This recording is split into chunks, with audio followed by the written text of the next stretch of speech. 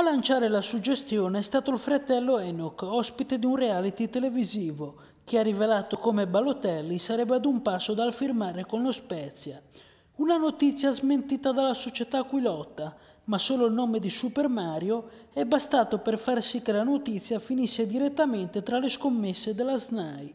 La possibilità di Balotelli in maglia bianca entro il 31 dicembre è quotata a 7,50, così come col Bologna.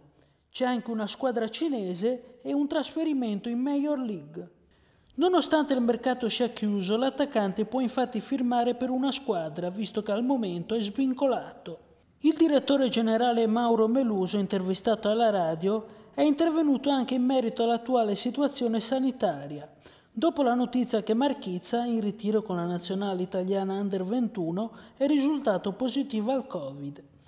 Per quanto riguarda gli interventi fatti dalla società per prevenire il contagio, Melluso afferma noi rispettiamo tutti i protocolli. Ieri nel centro sportivo del Ferdeghini abbiamo allargato tantissimo gli spogliatoi, addirittura ne abbiamo tre per evitare il contagio e aumentare il distanziamento sociale. Oltre a Marchizza nell'Under 21, continua Meluso, si è purtroppo contagiato anche Ismail e abbiamo dovuto interrompere l'iter per il trasferimento. Abbiamo dovuto aspettare.